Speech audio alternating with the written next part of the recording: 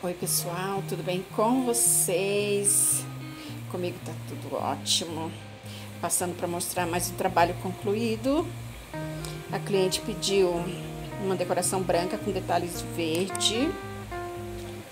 E aqui o cliente que manda, né?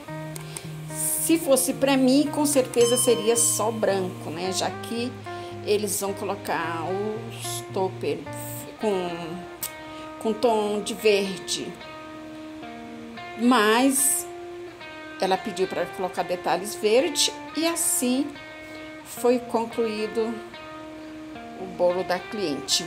Eu espero que vocês gostem.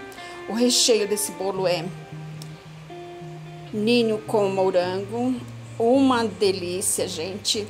Esse bolo é para viagem. É mesmo, é? Já vou embalar.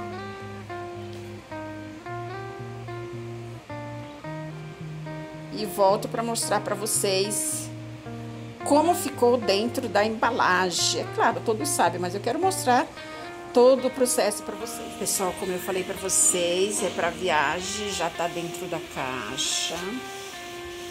Tá embaladinho dentro da caixa. Agora tem a tampa.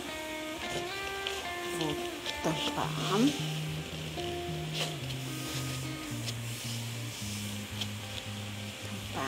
E agora é só esperar o cliente vir tirar.